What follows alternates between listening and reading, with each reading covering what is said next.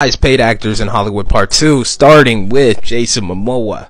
Uh, Aquaman and the Lost Kingdom, $15 million. It's a shame that he got kicked out the DCEU. Apparently, James Gunn has repurposed him in another role, so we'll have to see what that looks like. I like him, I think he's a good actor. Is he Aquaman? He might not be the best Aquaman, but he damn sure ain't a bad one. Uh, Denzel Washington, obviously one of the greatest actors ever. Love that he's brought back Dakota Fanning in this film. Always thought that Man on Fire is an underrated movie.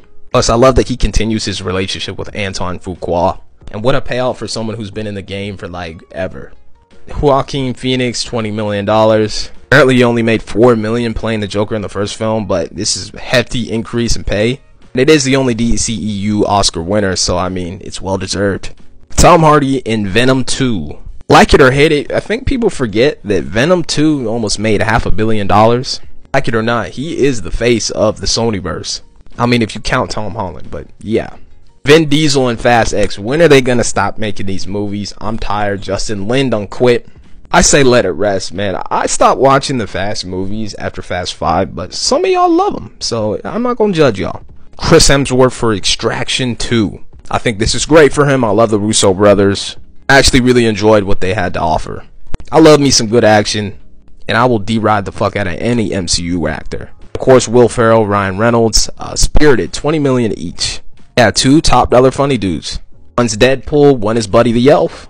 One's a former SNL cast member. The other resurrected Hugh Jackman as the Wolverine.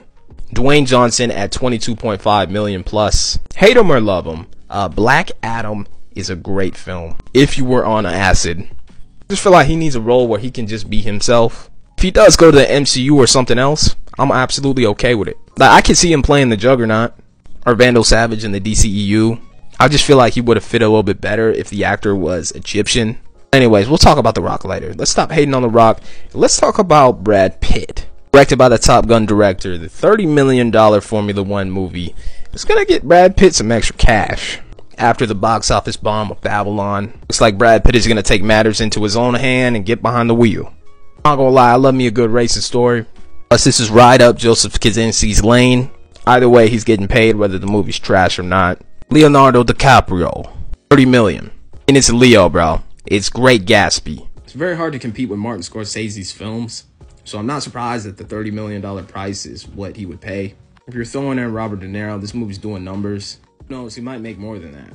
35 million to play a slave is crazy, but Will Smith, I won't ride for you. The slap happened, it's over. Mistake shouldn't end a career. And then of course number one, 100 million for Top Gun, which is crazy because his base pay was 13 million, but it's Top Gun, y'all.